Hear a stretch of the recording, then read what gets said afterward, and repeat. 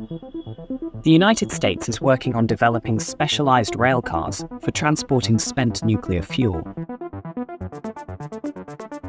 The high-tech Fortis railcar is being built with the cooperation of the United States Department of Energy.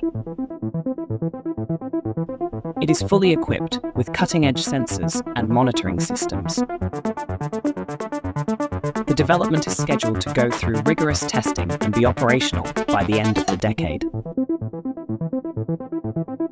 Another railcar for transporting spent nuclear fuel and radioactive waste, named Atlas, completed its final tests in 2023.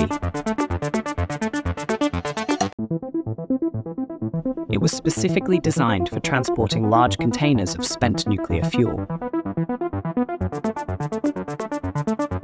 However, Fortis will be shorter in length than Atlas and will be used to convey smaller, lighter cargoes.